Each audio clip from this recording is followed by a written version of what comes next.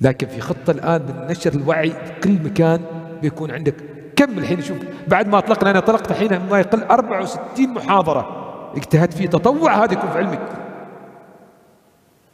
أنا أكلمكم اليوم أنا مداوم للساعة 2 وشيء ورجعت بيتي وجيت معاكم هني وبرجع بكرة دوام. هاي تطوع. لابد ننشر لازم تعاون لازم تكاتب. وتعاون معاي الناس. جاب لنا نتائج الشباب بدأ يفحص. بل ابشركم حاجة. إن الآن الحين أصبح إيش؟ لأن بعد ما اكتشفنا حالات أثناء الحمل أنا قبل أيام بسيطة يعني يعني بنت 24 سنة في ريعان شبابها مصاب بالإيدز في الحمل. فحصل الزوج الزوج مصاب. وين؟ حبيبي وين رحت؟ الدولة الفلانية. والحين ما أصبح في الدولة الفلانية الآن موجود هنا. الممارسات الخاطئة عذروا من ذا الكلام. موجود. لكن دورنا دور التوعية.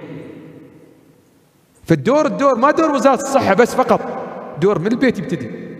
التربية الأسرية وين؟